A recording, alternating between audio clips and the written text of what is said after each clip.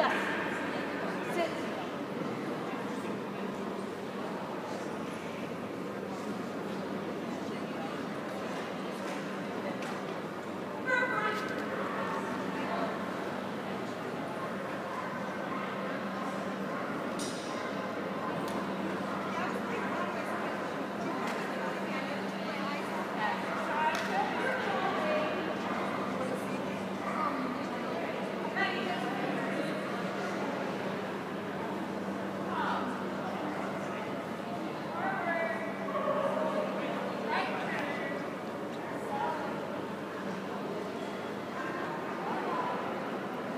Thanks.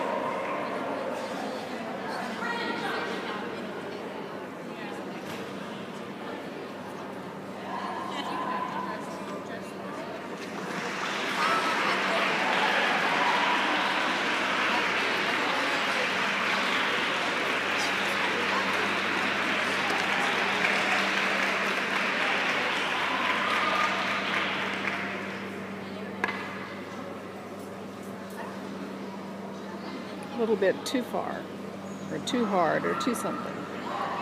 Redo.